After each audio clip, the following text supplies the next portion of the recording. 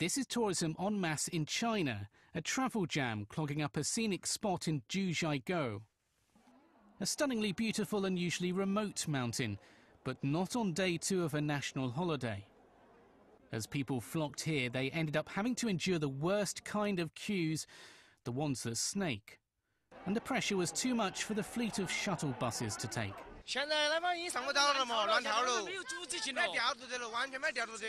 and it was as bad getting out of the place as it was getting in.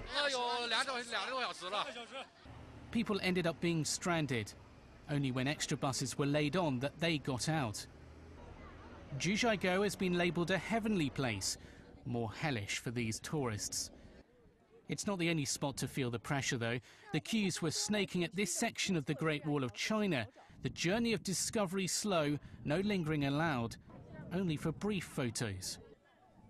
Tens of thousands descended on the wall, so many that authorities had medics and a hot water supply on hand.